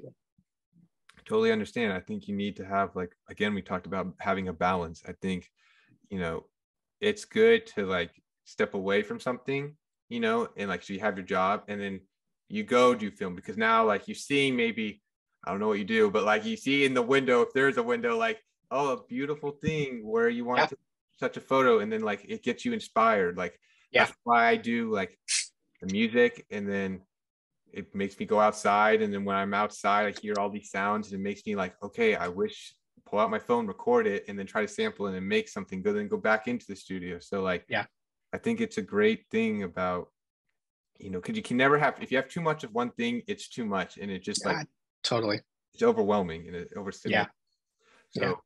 Yeah. And then I guess the other, other than this is the only other question is like what that I like have on my like notes and stuff is like what made you choose the M or like, you have an M6, I believe. Yeah. What made Yeah. you choose the M6? I mean, I know everyone like like it's the M6, but like there's there's could be a reason like why. I mean, what made me choose that particular camera? I think how quiet it is and it just kind of lets you focus doing your job or like shooting or Yeah, well, it was my first time ever shooting. It was probably a bad idea. It was my first time ever shooting a rangefinder, so um, I didn't know what that experience was like. But I think for me, in my head, it was kind of like if I'm going to do this, if I'm going to sell all my digital stuff and like go into film, I might as well get the camera that will inspire me the most. And I mm-hmm. know, and I'm fully on board with the idea of like there's so many cameras out there and you can make amazing images with so many like any camera really yeah. and it doesn't matter the price like if leica fell off the face of the earth and never existed again there would be just as many talented photographers and like nothing would really change that said i think and you know people talk about that all the time like you don't need expensive gear you don't need gear doesn't matter Mhm. I think that's true to an extent. And in my case, I think it was true that like gear when you when you don't have the right gear, it can limit you in terms of how you feel inspired and creative. Like yeah I had Sony cameras, really amazing cameras, really nice lenses, all amazing gear, like top of the line gear. Mhm. But it wasn't that th- those pieces of equipment were not inspiring me to get out and shoot, and they weren't inspiring me to try new things. no yeah And this Leica camera did. And like I have old Nikon film cameras that were like a hundred bucks, and those are great. Um, but whatever it is about this Leica, I keep picking it up and I keep wanting it, and I keep coming back to it every single day. And anytime I see it, I'm like, ooh, I want to go out and shoot. And that to me, gear, whatever the gear is, whether it's a $50 camera or a $5,000 camera, if it makes you feel that way, that's the important part. Uh, well said. I totally, I totally feel it. You know what I mean? Because like, um, I think for sure, and like you know, this podcast, I'm we're always honest or whatever. Like I, I was, I was hesitant to bring up about my M6 because I've like, I mean, I've been, I've been shooting for almost a year now and stuff, and for sure, Yeah. like someone starting off M6, it's like what, but it's also like, like seeing my grandfather shoot with that camera, like as we've seen in this podcast episode, it's like there's a connection with it. And like, of course, I Yeah. started with a, you know, a Canon AE-1. It's not a rangefinder, but you know, get the base Fantastic camera. Really is. And like, I still some of these shots um, I've taken on it have been amazing, and I love it. And I still use it today. But Yeah. with the Leica, it, it makes me feel like I'm with my grandfather, if that makes sense Yeah, totally. like Totally. like even though it's not the same camera like there's like this weird feeling i have like he's there with me so Yeah. um And, and for you, that's super important. I know plenty of people who hate Leica and they tried it and it doesn't work for them. Yeah. And that's perfectly great. For me, it makes it means something to me. For you, it means something to you. And like, I think, I think it's important to look past all that gear stuff. I know it's super. I get sucked into the gear thing all the time. Of like, oh, I want a new lens. Oh, I want a new camera. But like, use what you At the have. end of the day, yeah, at the end of the day, if it makes you, if it inspires you to shoot, if it makes you do better work, even if it's just because of your head, I mean, No, I Yeah. great said. I think honestly, yeah, and I think what you have and like, you know, what I'm trying to shoot right now, at least, like, um, you know, I like landscape photos, like you're saying, but I also like street photography, and I think Yeah. the 28 is great for that. And like, Yeah. um, though we're working on like, like most of my shots, if you look on, and well, not all of them, but like the ones that have like done super well are me in a car with my Jeep in the window, and it's going fast, and but it's like I always get the lighting perfectly, and Yeah, those yeah. the photos are going crazy, and it's like, a, I'm gonna be honest, I don't know really what I'm fully like. I just looking at the two light meters, boom, I hit. I have an idea, Yeah. but like trying to work on shooting like while moving, because like with my Canon, it's hard. point and shoot was easy. Shot it. Here, Yep. trying to get people moving, and also when I'm in some locations where I shouldn't be at the moment, like I got, I'm just trying to get the photo. So it's been a challenge, but in a good way. And um, yeah, I think it's it's great and it's interesting uh, how a camera can make you feel, and and and also how it makes you think. Like that's Yeah, that's totally. thing. How how because when I first started shooting with this, I mean, I understood because my dad explained it to me a little about like the rangefinder. It's not like the Canon A1. It's not well. It's not a. It's a. Uh, it's not a rangefinder. So you're Yeah. not looking into what your lens is seeing. So realizing that, because I remember the first roll I got, it was okay. Yeah, yeah, It's different. Yeah. No. Yeah. Overall, um, yeah, we're we're just the the main thing, folks, people, because I'm kind of like drifting here, is that do what you love, follow your dreams, and don't give a fuck what anyone else is think. I think that's the biggest thing. That that's is it. That's the that's the moral of this entire episode. it, it really is because I think we all overthink and like kind of going full circle with the Instagram thing. People have this idea or this mindset of like they want approval from their Yeah. like, colleagues or other people or their fans or whatever. And it's like at the end of the day, like yeah, that's great, but you're forgetting why you're here. Mm. Like you, the point is this because you're doing you. You think the Yeah. Beatles gave a fuck with like everyone else? No. And as as Uh. we as we saw, if you have seen the Get Back documentary, amazing documentary, plugging that for Disney Plus, go see it. It's amazing. Um, yeah, that's where I'm gonna leave it. Yeah, totally. Yeah, it's uh, don't give a shit. Also, you you my view on it is like you got to be a fan of yourself.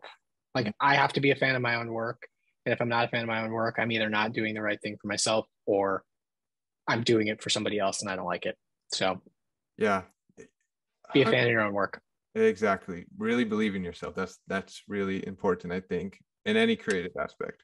But yeah, um, that is basically it. Yeah, thank you so much for coming on to Grantastic. Anything you want to let the people know going on in your life, or they should, or Uh, I mean, hey, I, I, you know, all my my stuff's on on Instagram. I've got a website, but it's it's um, I mean, my big shout out is just to all the people who have been super supportive along the way, super helpful. I've learned a lot from a lot of other people, um, and I'm excited to continue doing it. So thank you for having me. This was awesome. Really enjoyed this conversation. Yeah, man, I really did too. And thank you for just being open minded, coming on here, and like, it's always great talking to to like any people who are just like creative minded and just always wanted to just meeting people and hearing about Yeah. the story and like, and yeah, honestly, it's great to know that you live in San Fran. Love to hear it. Uh, yeah. Yeah, man. But anyways, Grantastic people out there. If you've listened to this, I don't know how long this podcast has been. We appreciate you. Stay hydrated and keep on flourishing. There we go.